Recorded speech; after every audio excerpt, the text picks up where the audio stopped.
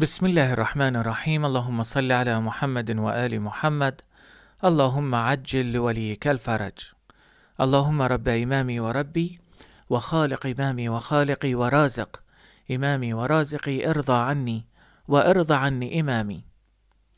السر الذي أعطاه صاحب الزمان سلام الله عليه لهذا المرجع كي يستجيب الله سبحانه وتعالى لدعائه حالا. ما هو هذا السر؟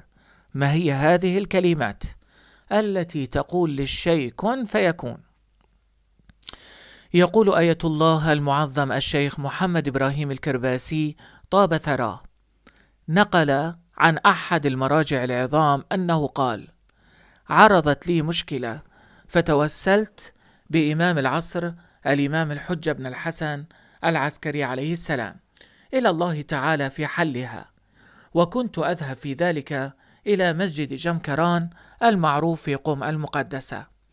مضت على ذلك مدة من الزمان ولم أرى أثرا من الإجابة فانكسر قلبي ذات مرة وأنا في الصلاة المستحبة التي تصلى في مسجد جمكران. أخذت أخاطب سيدي ومولاي الإمام الحج عليه السلام وأقول سيدي ومولاي لقد توسلت بك إلى الله تعالى في حل مشكلتي وقضاء حاجتي فلم أرى أثرا للإجابة. فهل يسوغ لي أن أتوسل بغيرك وأنت إمامي؟ ومن له حق الطاعه علي في عنقي؟ ثم قلت إني لا أسمح لنفسي ابدا أن أتوسل إلا إلى الله عز وجل وكذلك بك يا ابن رسول الله. ثم قلت في نفسي لأخاطب صاحب الزمان وأقول له هل يمكنني أن أتوسل بأبي الفضل عباس عليه السلام؟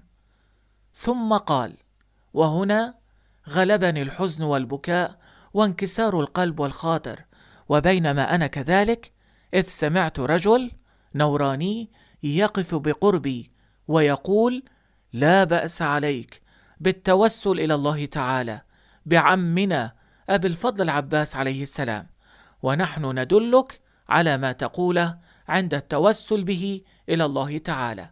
فإذا كانت لك حاجة فتوسل به إلى الله تعالى بهذه العبارة وقل يا أبا الغوث أغثني.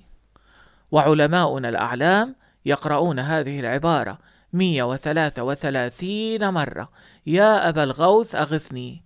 ويقصدون بذلك أبو الفضل عباس سلام الله عليه فجرب ولا تشك.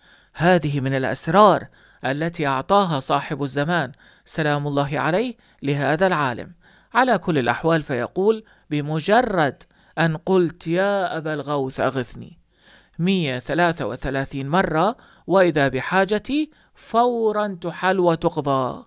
بمجرد أن خرجت من مسجد جمكران اتصلوا علي بقضاء حاجتي. برنامج صباحات الأيامين محمد خادم في مرقد الحسين بن علي. عليهما السلام.